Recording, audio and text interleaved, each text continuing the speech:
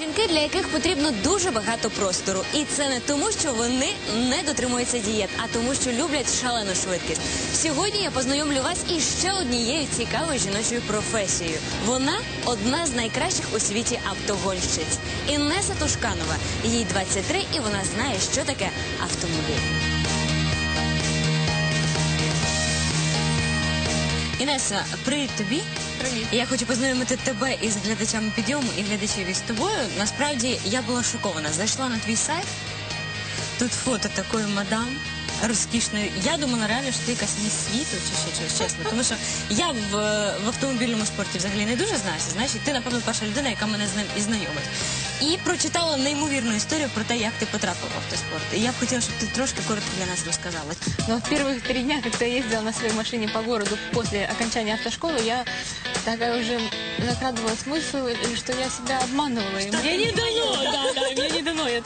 на светофорах пару раз, там ручник забывала снять. Ну, такие вот вещи, какие-то глупые. А потом через три дня, как пришло ко мне просветление, как начала я на этом Ланосе, на эссенсе ездить. І ти зрозуміла, що авто це твоє, так?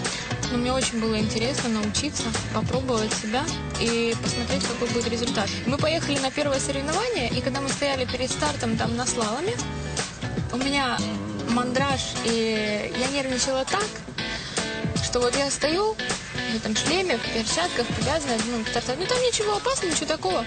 Но я волновалась так, что я сказала себе, я на соревнования больше ни ногой, никогда в жизни, ни разу, это последнее. Ну, в общем, Так і почала. От не ногой.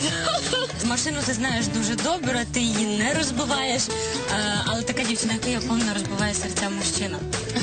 Ти мужчин відчуваєш так само добре, як автомобіль? Знаєш, що, де нажать, де який рычаг? И я разделяю спорт и любовь. То есть у меня как бы в спорте, в принципе, никаких там э, любови, интриг не бывает. Во-первых, мне некогда, во-вторых, у меня свой образ на гонках. Вот. А когда я в городе, когда я женщина, да, я вот так стараюсь красиво выглядеть, накрашенная, с прической, там, в каких-то шортиках, юбочках, платьишках, на каблуках.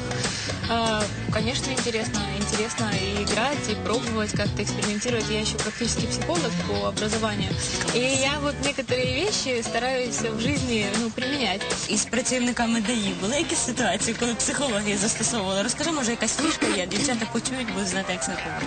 Ну, самая главная фишка строить из себя слабую э, девушку, да, это самое, самое правильное. Я сегодня, меня три раза сегодня остановили, три раза отпустили, причем как с российской стороны, так и с украинской. Я еду, да, превысила скорость, и в России я отпускаю, ну, улыбаюсь ему в 32 зуба, я говорю, ой, поймали, говорю.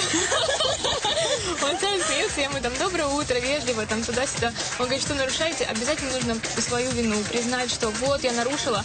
Еще ему очень нравится, когда вы знаете правила дорожного движения и, и рассказываете, что вы нарушили и как. Они, во-первых, удивляются, а во-вторых, приятно удивляются. И обязательно, ну, как бы отпустят. Скажи, е, я вже повторюся, ти дуже сильна жінка. Важко знайти мужчин, які сильніші тебе за контроль комфорту.